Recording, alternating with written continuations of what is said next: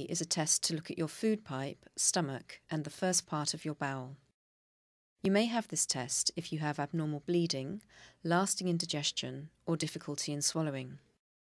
On the day of the test, you should not eat or drink for six hours beforehand. Just before the test, your doctor will spray the back of your throat to numb it, or give you a sedative which will make you forget having the test.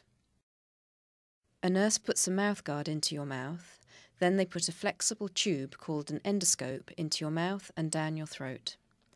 This is uncomfortable and may make you gag. Concentrating on slow, deep breathing helps. On the end of the tube is a light and a camera. This sends pictures to a monitor. It also has a tool that can take samples of tissue. Looking at the monitor, they examine your food pipe and then your stomach.